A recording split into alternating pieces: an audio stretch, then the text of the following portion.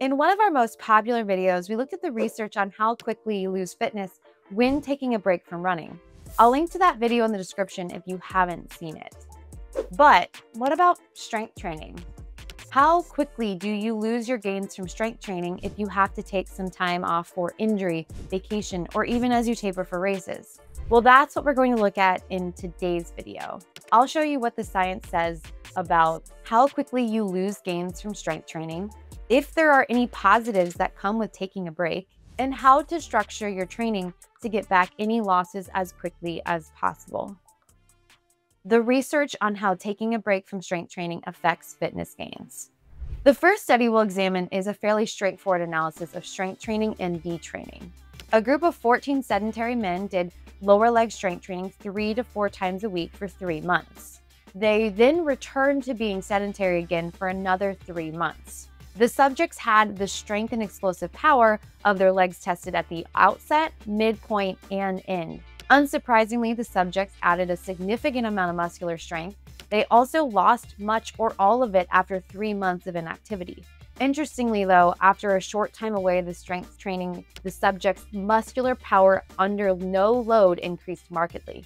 The authors proposed that the men retained some of the strength training muscular benefits and lost some of the highly specialized adaptations for moving heavy weights. The resulting muscle composition executed less inhibited and more powerful movements. The detraining results, the improved muscular power and the velocity and the loss of slow moving muscle fibers, might be of use for a runner who requires just these characteristics to perform.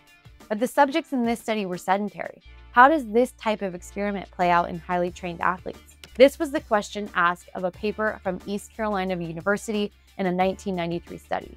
Their study looked at changes in strength after 12 highly trained power athletes, powerlifters, and D1 football players took two weeks of rest.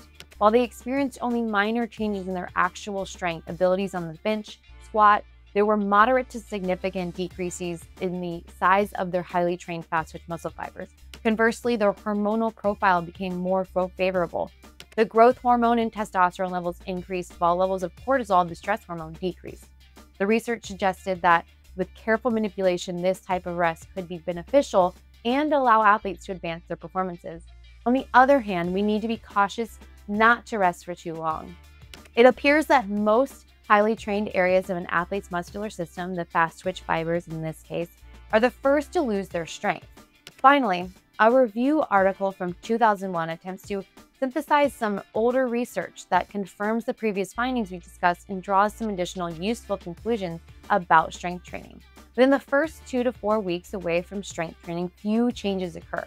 Specialized athletes like runners, rowers, and power athletes must continue sport specific training like running for runners, otherwise, they may lose their specialized fitness muscle fibers. For example, in endurance athletes, the size of slow twitch fibers, muscle fibers declines.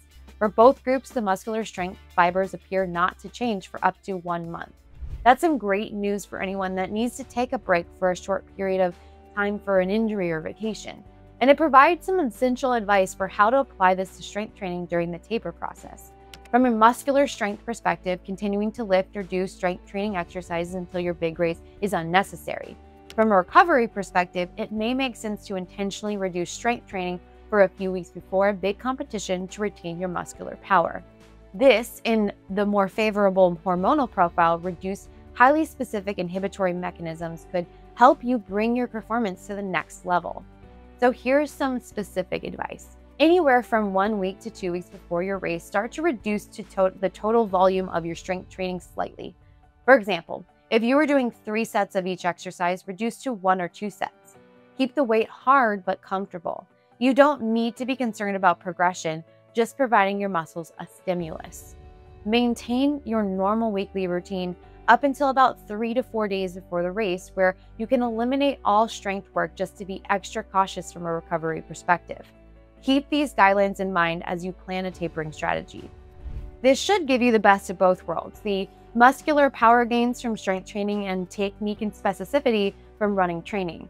If you're interested, our Strength Training for Runners guide is based on all this research we conduct and experiences from our own training as elite runners. We show you exactly how which we show you exactly which days to strength train, how to progress based on race goals, and provide the most optimal and specific exercises for injury prevention and running performance. It has prescriptions for how to add running specific strength work to your training for distances from 5K to the marathon, including how to continually progress your strength work and how to taper. It's a step by step system for each day of the week for any race distances with videos, how to's, when to schedule, and more. I'll put a link in the description for you to learn more. What questions do you have about how quickly you lose gains from strength training? Let us know in the comments and we'll try our best to answer.